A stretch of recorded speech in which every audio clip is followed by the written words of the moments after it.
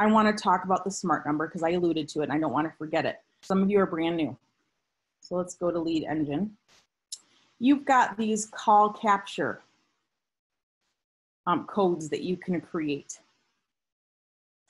So what you'll notice is if you have not purchased your own smart number, like this person hasn't, um, she's got an office smart number and here's what it is. This is a shared number. If somebody were to call this phone number, it would round robin with other agents in your region. Okay, so somebody calls the number, you're probably screwed. okay, all right.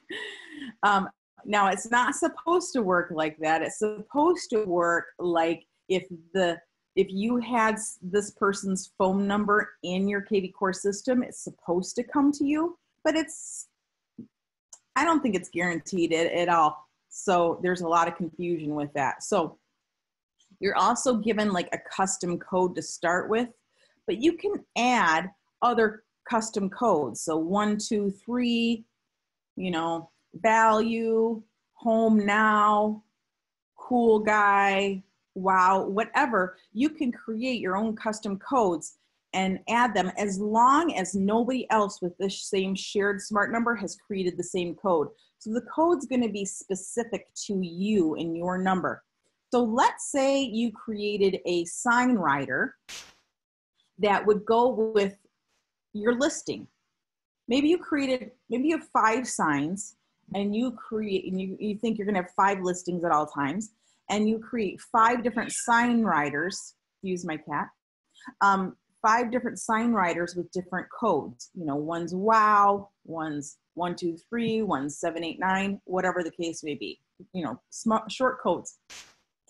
And you say in a sign, text one, two, three to this phone number for information about the property. And so what you could do is put the custom code, wow, or whatever, and then the M MLS ID um, of that listing. And don't worry about a reply message, just the MLS. And then choose your smart number that you're going to send it from.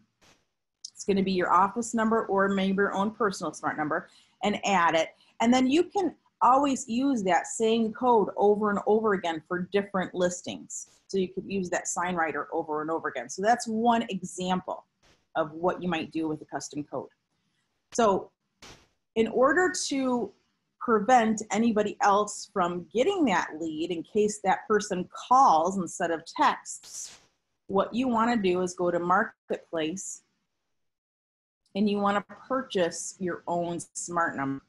Now, you, you, you can can it's $27 a month and I think you can cancel at any time, but for the first three months you can't. I think you pay ahead for the first three months. I can't remember, but here it is smart number add-on. Okay?